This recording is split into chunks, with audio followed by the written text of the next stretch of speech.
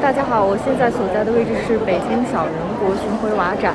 那么这里的娃娃呢，包含了 BJD、小兔，还有 OB 幺幺。最小的娃娃只有糖果那么小。话不多说，和我一起进入小人国的世界吧。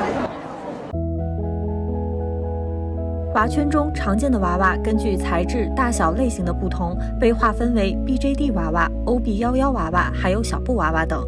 尽管各类娃娃的特点不同，但真正让它们区别于潮玩、手办、盲盒的特质，是它们的衣服可换、关节可动、脸上妆容、头发甚至眼球也能根据自己的喜好进行二次创作。在本次展览中，展出最多、最吸人眼球的是造型各异的小布娃娃。那个，我们这个娃娃是那个小。布娃娃，然后是选的这个呃白色的肌肤，然后自己自己做的纯手工啊。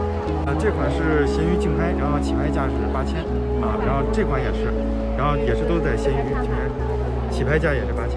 然后这个是一口价是六九九九。那这个八千一般的话，他们会竞拍到多少钱？高的话有一万多吧。那现在这个娃娃的销售情况怎么样了？啊，很火吧？大概卖了有不到十只吧。在展览现场，除了仙气飘飘的小布娃娃，记者还看到了一个全场最小的娃娃。这是 OB 一娃娃，嗯，对。然后身体是就是买的日本的 OB 一的素体，头就是自己捏的。我自己个人比较喜欢一些小的东西，从小就很喜欢，然后就做了一些更迷你的娃娃。可玩性就是眼睛可动，也是今年才开始做这种小的。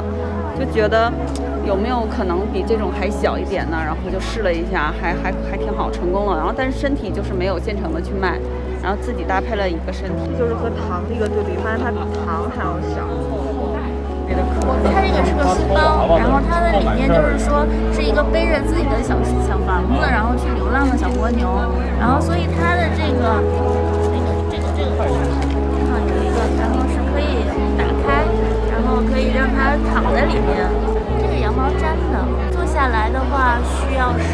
天吧。这一套是三九九六，基本上展会上的小蜗牛都不会丢掉。在展会现场，也有不少的消费者带着自己的娃娃前来选购商品。我一般会在娃展的时候，会想给我的娃买一些饰品类的东西，可以直接试的。到现在为娃花了多少钱了？大概？嗯，能有个四四千，四千的样子。不包括娃本身的那个费用，就只是给他买一些配件啊、道具什么的。就是我是一个就是 coser，所以我自己也会就是穿一些就是就是打扮的一些衣服嘛。然后我觉得娃娃可以让我实现这方面的愿望，就是我实现不了的，比如说我的样子不合适，我的气质不合适的话，那我的娃可以帮我实现。所以我报了个男娃，让他去 cos 我想让他 cos 的角色。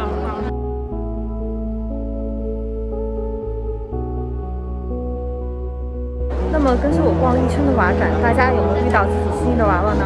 其实对我而言，这些娃娃不仅仅是玩偶，而是一件件精美的手工艺品，它承载着大家对美好生活的向往。